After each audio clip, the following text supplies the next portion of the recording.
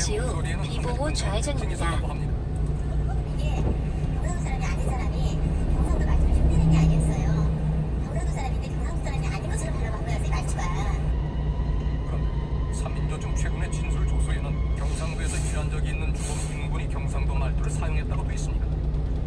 최군을 만나 단도 직접적으로 물었습니다. 경상도 내근적이 있습니다.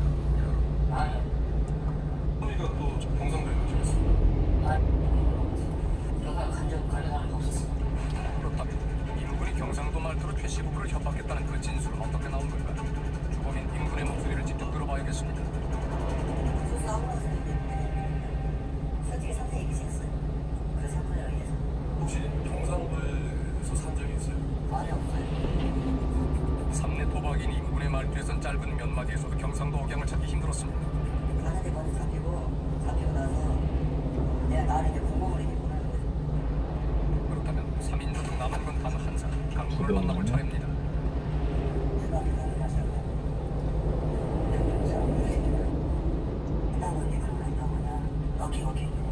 분명한 삼내 도박인 이들 중 누구도 경상도 억양을 가진 사람은 없던 점입니다.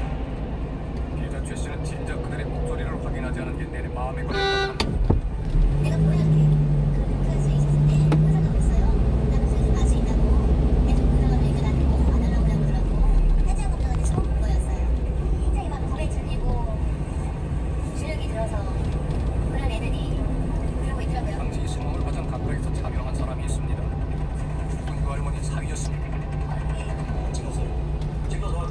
딱 왔는데 찍으면서도 어, 이거 아닌데?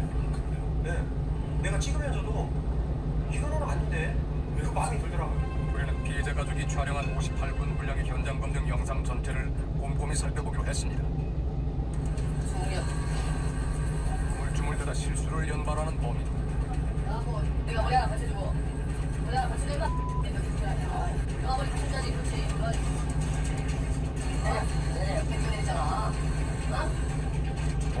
행 과정은 처음부터 끝까지 오로지 형사들의 적극적인 연출에 의해 재현됩니다.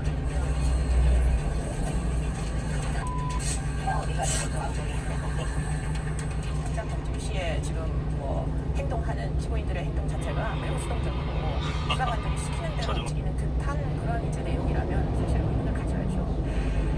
3인조의 자백은 맨 처음 잡혀온 강군이 쓴 자필 자술서에서 시작이 됐습니다. 일체를 비교해보니 강군에게 자신의 자술서를 옮겨 적어달라고 강군의 모습이 눈에 띄게 어색해 보입니다. 당시 강군은 지적장애 판정을 받은 장애인이었습니다. 당시 수사기관에서도 이 사실을 알고 있었습니다. 기억 되살리는 것이 아니라 지금 당장 명확히 보고 있는 모습 그대로 관찰 기록을 한것 같은 그런 모습이거든요. 자술서에서는 쉽게 볼 수 없을 정도의 지나친 정확성